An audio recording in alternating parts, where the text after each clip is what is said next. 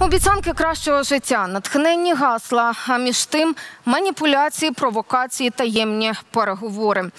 Місцеві вибори в Україні цьогоріч стали топ-політичною подією року у суперечці між політичними парламентськими партіями і місцевими перемогу здобули останні. Втім, чи стала ця перемога перемогою самих людей? Про це ми дізнавались у політологів.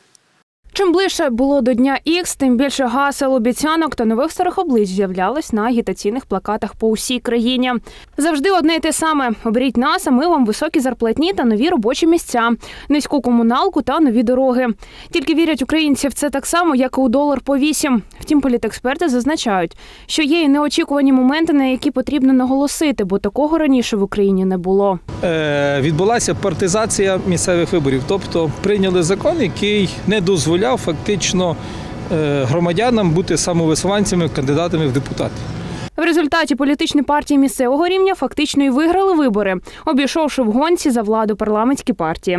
Міські голови знову отримали посади майже у всіх обласних центрах і не тільки. Це були вибори е, в першу чергу розраховані на практичні результати конкретних діячів місцевого рівня і їхніх команд. І тому, у кого були команди результативні, ефективні, ті і е, отримали кращі результати. Особливість цих виборів, що місцеві такі команди успішні, вони вирішили дис- дистанціюватися від парламентських брендів партійних умисно, заздалегідь. е, Щоб не брати на себе можливий негатив від е, діяльності цих партій. Українська стратегія Володимира Гройсмана, так, колишнього прем'єр-міністра, де він фактично, як кажуть, ну, взяв всю область і міську раду, і обласну раду. Це, ну, до речі, це єдиний е, випадок е, на цих виборах. Політичні експерти кажуть, передвиборчі прогнози, що давалося по найбільшим обласним центрам Харкову, Дніпру, Одесі та Вінниці, цілком виправдали себе. Перемога за потужними місцевими командами виборець був за тих, кого знав. Так само і більшість міських голів не змінилася. До прикладу, можна навести у Дніпрі мером став Борис Філатов. У Вінниці Сергій Моргунов. Жорстка боротьба була в Одесі. Втім, перемога все ж таки за Геннадієм Трухановим. У Львові знов ж таки Андрій Садовий. А у Харкові цілком очікувана перемога за Геннадієм Кернесом. У грудні, на жаль, Геннадій Кернес пішов життя. Більша частина електорату успішного Харкова партії Кернеса це електорат споріднений до ОПЗЖ. Що ж зараз чекає на Харків? Можливо, будуть дострокові вибори, а швидше за все вони будуть мера, і буде мер від ОПЗЖ, який буде підтриманий успішним Харковом.